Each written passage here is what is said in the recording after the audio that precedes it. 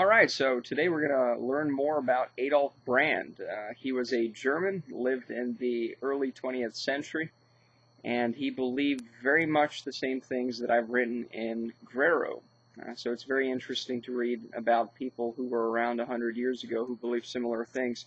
Uh, I'm going to read from a book called Homosexuality and Male Bonding in Pre-Nazi Germany.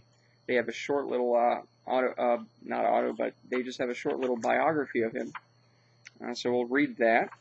And then we'll take a look at a very interesting newspaper article from Spokane, uh, the Spokane Press from 1907. Uh, that's him right there. There's a little article here. And uh, that's it. So uh, the newspaper, uh, I'll link to it. The stuff that I'm reading, I'll link to that as well. I'll upload it as a PDF. So here we go. Adolf Brand's career as a gay activist, 1896 to 1933. Now, gay, we'll come back to that as well because that's interesting as to why he'd be called gay. The publisher Adolf Brand was one of the most controversial activists in the gay movement. After abandoning his profession as teacher because of his anarchistic opinions and his associations with bohemians and freethinkers in Fin de uh, Berlin, he started a bookshop and publishing firm and began publishing the journal Der Eigene, which appeared from 1896 until 1931 in different forms and with changing frequencies. The first issues of Der Eigene were characterized by a particularly particular kind of anarchism formulated 50 years earlier by the philosopher Max Stirner. Brand borrowed the title of his journal from Stirner's main work, Der Einzige und sein uh, Eigentum, the unique one in his property, which strongly uh, rejected any subordination of individuality, not only to the ecclesiastical and temporal authorities, but also to morals, rationalism, and ideology. At the end of 1898, Der Eigene changed from an anarchist into a literary and artistic homosexual journal. Its readers, as Brand declared, would be men who thirst for a revival of Greek times and Hellenic standards of beauty after centuries of Christian barbarism. After having discontinued the publication of Der Eigene for three years due to lack of money, Brand edited it again in 1903 as a journal for male culture, art, and literature. In Der Eigene contribute, uh, contributions alternated between somewhat sentimental love poems and short stories and essays on social, political, and aesthetic aspects of Männer, Männer und Jugendliebe, love among men and youths. Brand connected his defense of male eroticism to his anarchism, which to him required complete self-determination over mind and body. His bitter attacks were directed not only against government authorities and Christian moralizers, but also against physicians and psychiatrists whose scientific research on human sexuality, Brand maintained, took away all beauty from eroticism. In this way, he took his first stand against Hirschfeld, whom uh, he had met in 1896 when they planned together a political campaign for the abolition of paragraph 175, uh, 175 which was a, a, a statute in Germany that criminalized same-sex sex. For a short time, Brand supported Hirschfeld's committee, but very soon he and other writers in Der Eigene gave voice to their dislike of sexologists like uh, such as Hirschfeld. Brand's frequent use of abusive language in his writings showed his militant and somewhat quick-tempered character. He did not mince words. Many times he got mixed up in public quarrels, scandals, and trials. In 1899, he caused a sensation in German in the German parliament by striking a member of the Reichstag with a dog whip. In 1903, he had to stop publishing Der Eigene for a while because of a moral purification group accused him of distributing lascivious writings. Pictures of nude boys by the famous photographer Wilhelm uh, von Gloeden and the well-known painter Fidus uh, Hugo Hoppener were considered to be especially offensive, but also some prose and even a reprint of Friedrich Schiller's poem uh, Die Friend, uh, uh, Friendship were designated as immoral. Brand was sentenced to prison for two months on immorality charges. Even in the more liberal Weimar Republic, Brand had to put up with police searches of his house and uh, and with trials because of his because of his photographs of nude young men, which he published in, a, in special magazines with titles such as Blatter uh, for Nacktkultur, Journal for Nudism, Race and Beauty, and German Race. Sometimes he managed to defend himself by arguing that his motivation was not sexual but artistic and scientific, and that showing male nudity was in the interest, interest of racial health and purity. oh. It comes as no surprise that Brand had to be very cautious in distributing his journals. Subscribers were requested to sign a declaration promising not to be shocked by the literature and pictures, especially as Brand couched it in guarded words, unconcealed depictions of the human body which evoke shame in so many average people. Uh, well, it's true today as well, I suppose.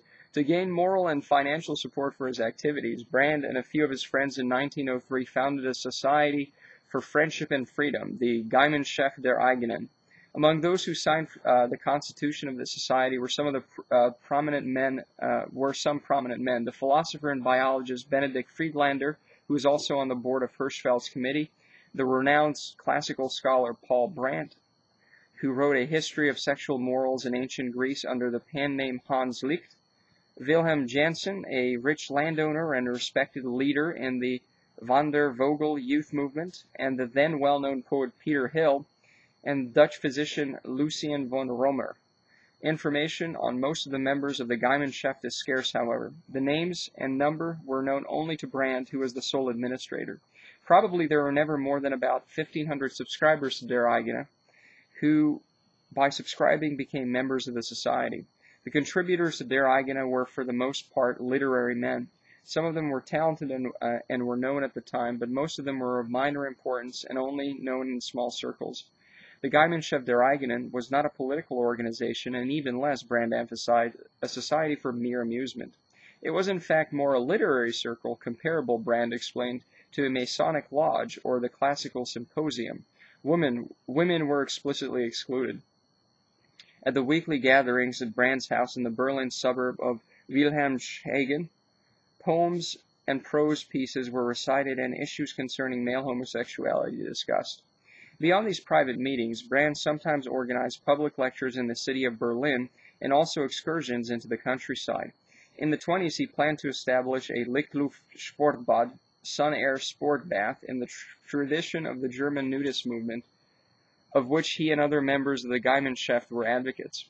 He also tried to establish an idyllic vacation resort in an old castle or monastery. Both projects were not realized because of a lack of financial support. Members of the Gemeinschaft were entitled to support and advice if they, as homosexuals, got in trouble, for example, by being blackmailed. At the same time, they had an opportunity to find a lover by means of a personal ad in Der Eigene or in one of the other journals through which Brand informed them of his activities, including the weekly report, I'm not even going to try to pronounce that, and an occasional supplement. Yes. Uh, 1907, in 1907, Brand's name appeared in the national and foreign press, uh, including the printout, uh, national and foreign press, because of his involvement in the sensational Harden-Eulenburg scandal. This affair was one of the many homosexual scandals around the turn of the century in Germany in which high-ranking men, especially army officers, were involved army officers, just like in the ancient uh, Greco-Roman world. Uh, in 1902, the social democratic paper Vorwärts, trying to pillory the Kaiser's policy of armament, wrote, the, wrote that the rich steel baron F. Alfred Krupp was indulged in homosexual vice in his country seat on Capri, suggesting that this proved the moral decadence of the capitalist class. Uh, it's interesting, just as a little note. Um, when Stalin came to power, the exact opposite was. Uh, uh, hold on. No, no, when Stalin came to power, he used the same line that, uh, you know, this is capitalist nonsense. Of course, in the West, uh, this was uh, homosexuality was looked upon as a socialist vice that oh it's those Bolsheviks who do it. So the Nazi Party said oh the Bolsheviks are in these gay orgies and all that. Uh, this was used also in in um, in less fascistic uh, political circles as well. Uh, so let's see here. Four years later, the nationalist journalist Maximilian Harden started a campaign against two close friends and political advisors of Kaiser Wilhelm II, Prince Philip zu Eulenburg-Hertefeld, and Count uh, Kuno von Moltke. These two noblemen were at the center of the so-called Liebenberg Circle, or Liebenberg Circle, whose members cultivated romantic friendships and in which Wilhelm II was often a guest. In one of his articles in his weekly Die Zukunft, Harden hinted that they were homosexuals. Like that of Vorwärts, Harden's motivation was political. His aim was to obstruct the influence of the pro-French Liebenberg Circle on the Kaiser in foreign policy, but when Moltke charged Harden with slander, judicial and public attention was directed to the alleged homosexuality of the two noblemen.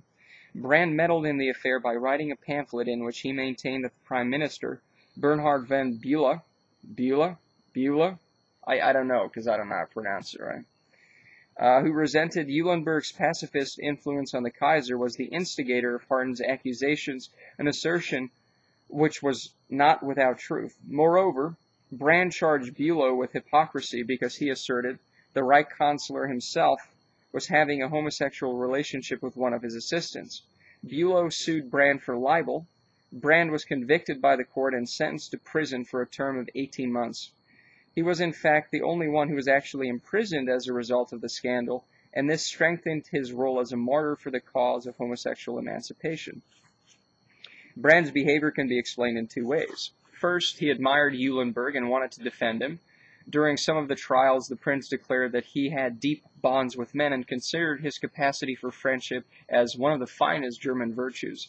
Second, and more important, Brand, as some other gay activists somewhat naively believed, was convinced that the disclosure of homosexual relationships among high ranking men would not only make people aware of class injustice, but would also eventually bring about the abolition of paragraph 175. He had opted for, uh, for this strategy of the path over corpses a few years earlier by publishing a pamphlet in which he revealed that the leading politician of the Catholic Center Party, Kaplan Daschbach, was sexually attracted to males. Oh, by the way, uh, um, Adolf Brand then means that he was the first person to use outing as a political weapon, okay, uh, in the early 1900s. Brand expected Hirschfeld and his committee to support him in this policy, but they repudiated it. Ah, those gays who are like, we don't want to do that. It's too scary. Indeed, they criticized him for embarking on such an extremist course. Oh, yes, when you don't agree with something, you can just shout extremist at it, yes. Brand never forgave Hirschfeld for withholding support and, to a certain extent, even held him responsible for his imprisonment. While Hirschfeld had supported Harden in one of the trials by testifying as an expert witness and stating that Moltke was a homosexual in a psychological sense, he would not do the same thing for Brand in his case against Bülow. After having served his prison sentence, Brand immediately distributed another brochure in which Hirschfeld was accused of having played an evil part, part in the conspiracy against Eulenburg. Hirschfeld, the brochure claimed, had betrayed the homosexual movement by frustrating a plan to embarrass the police authorities and the government by means of a massive public admission of homosexuality by prominent men, thus making paragraph 175 unenforceable. After the First World War, Brand and Hirschfeld settled their differences for some time. Both welcomed the democratic Weimar Republic, and in the atmosphere of optimism, Brand cooperated with the leaders of the committee to prepare a new campaign for the abolition of paragraph 175. The circulation and frequency of Der Eigene was greater than ever, and Brand's 50th birthday was celebrated in Hirschfeld's Institute for Sexualwissenschaft. I have no idea on which occasion Hirschfeld praised, not without a touch of irony, Brand's fighting spirit. However, their reconciliation did not last. In 1925, he published a small book in which Ewald Czesk a regular contributor to Der Eigene in the 20s, explained that, explained that the Scientific Humanitarian Committee should be fought since its activities were harmful to the German people. The same Czesk ridiculed Hirschfeld and his assistants in Brand's satirical magazine Die Tante, The Fairy. Also in, the, also in Der Eigene, several comic pieces appeared in which Dr. Feldhirsch was uh, held up to derision. Uh, and we'll continue the last couple paragraphs in the next video.